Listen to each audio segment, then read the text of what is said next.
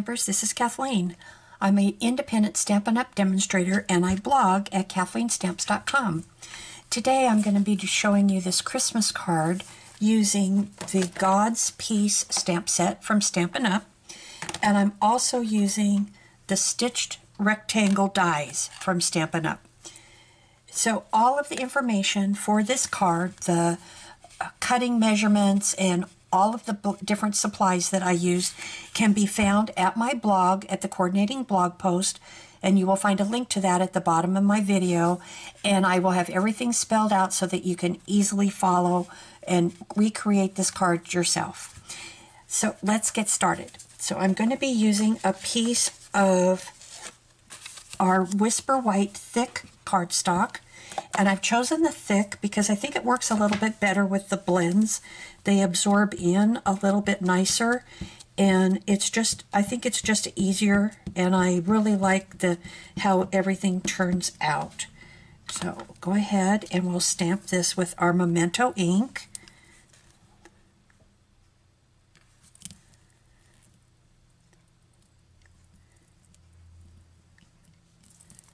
Okay, so then we'll go ahead and we'll color with our blends markers. So the first that I'm going to be using is the Rococo Rose. And what I'm going to do is I'm going to go into the area where the ribbon folds over on itself because that's the area that will create a shadow.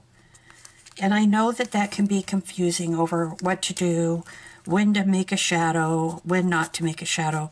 But it's anything that's going to fold in on itself and if you look at a piece of ribbon, you can see how when it twists and folds that it gets darker in that area. So I'm just going to go ahead and color this in.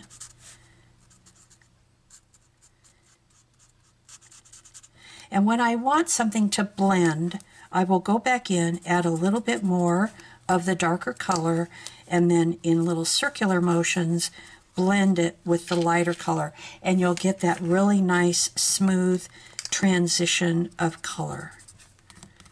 And that's just that easy. So for, and um, all I'm going to do is I'm just going to color part of this and then I have one that I've already completed. Now for the halo around the candle flame, I'm going to be using the light pineapple punch. And I'm not going to be doing any blending on this area at all. I'll just be coloring it in. Just like that. Then for the candle itself, I'm going to use the pumpkin pie. And I'm just going to make a small little mark at the edge of the candle flame. And then I'm going to use the dark pineapple and blend that together. Just like that you can see how easy this is to color. For the actual poinsettia, I just decided to use the petal pink, and we're just going to make this a light rather than a red poinsettia. Every once in a while, you can find really pretty white ones, and but with a tiny little pink tinge. And so that's how I'm coloring this. So then that's all there is to the poinsettia. And now for the leaves, I'm going to be using the dark at the base of the leaf.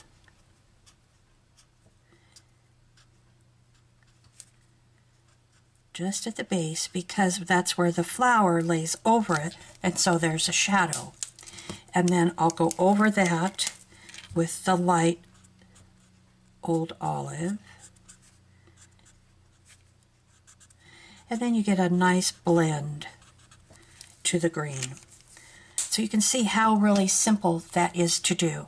And then I would take my Wink of Stella and I would go over the glow from the candle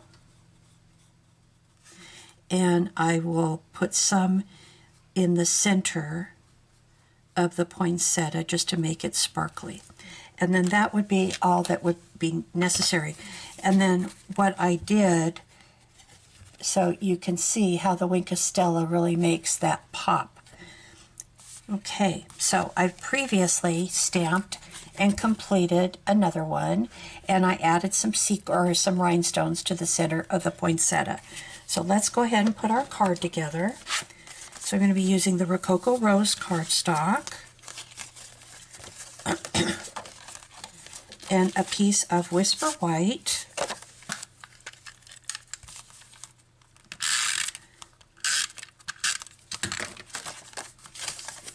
And we just want to get this centered.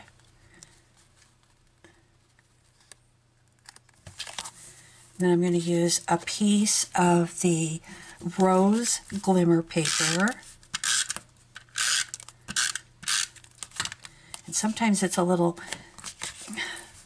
cranky and doesn't stick down, so you can see that I added extra snail to that. Okay, now we're going to go ahead and we're going to add our completed card with a design and you can see how I um, die cut that. Can you see that die cut on the edges, the stitched edging on that? And I used the stitch or rectangle stitch dies and from the small it's one two three four five. It's the sixth one out if you're counting from the center. If you're counting from the outside in it's the third one. This is the one that I used to die cut that. Now, because this is going on the glimmer paper, sometimes it this is can be difficult to stick to. Um, I'm not really sure if it's because of the temperature, the humidity, or the lack thereof of where I live, but um, I have noticed that I just it just does better if I use the Tombow multi-purpose glue on it. And the other thing that's nice about that Tombow is it gives you a little slip time. So if you aren't really happy with where you initially put it, if it comes out a little bit crooked, you have the opportunity to fix that. So now we're going to stamp the inside sentiment. We'll use our Memento ink again.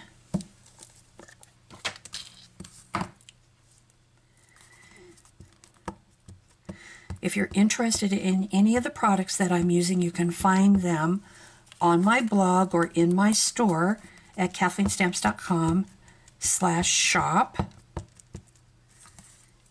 Go ahead and we'll stamp this.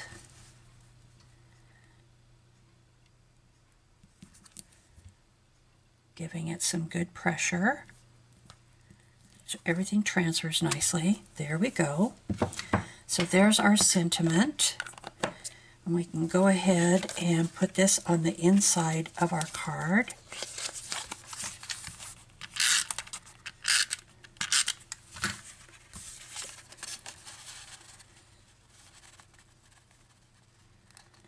Now the only thing I did not do on this card that I did on my original card is can you see the shine that's on the candle flame? It's so beautiful. And this is a new product that we're carrying called Shimmery Crystal Effects, and it gives you that raised, glistening image that I just think really makes the candles look fabulous. So thank you so much for stopping by. I hope you enjoyed my card, and I look forward to seeing you in our next video. Goodbye.